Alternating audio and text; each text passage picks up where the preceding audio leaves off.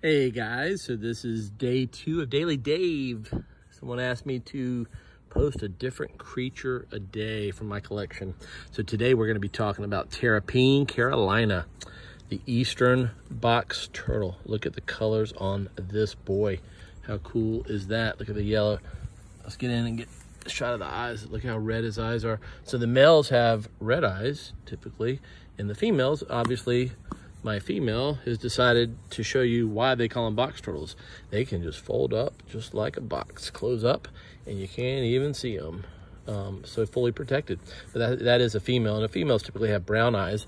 Also, if you'll notice on the bottom, I don't know if you can see it. See that angle? See how the bottom is curved on a male, right in there. Whereas a female has a flat bottom. So that's how you can differentiate between a male and a female. Uh, a little bit about the box turtle. It's the only fully terrestrial turtle found in North Carolina. It is the state reptile. I think it's the state reptile of Tennessee as well. Um, beautiful colorations. Uh, they, you'll see them in a, uh, you'll see different colors.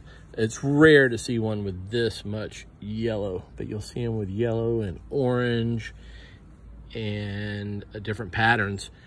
Um, usually live around 25 years, 25 to 30 years. Uh, there are documented cases of box turtles that have lived to be over 100.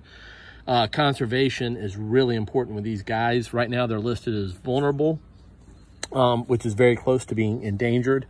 Um, they have a huge homing instinct, which means they you can't take it from the area where they were born uh, because they will just try to get back there and most likely die. So if you see one leave it where you find it um, because typically they their range is very very small.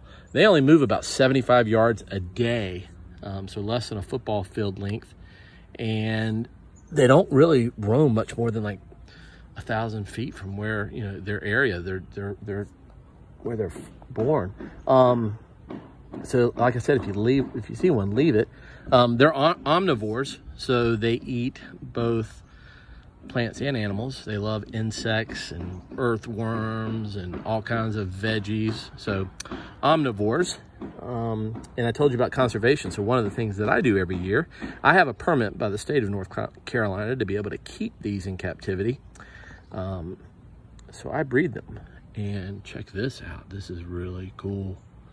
Look at that. I gotta get in. Can I get, oh yeah, I mean, come on. Does it get any cooler than that?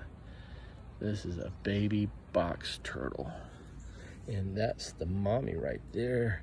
And there's another baby box turtle. Look at the size difference. And most people never get to see baby box turtles in the wild. Look at that cute face. So it's very hard to ever spot one of these in the wild.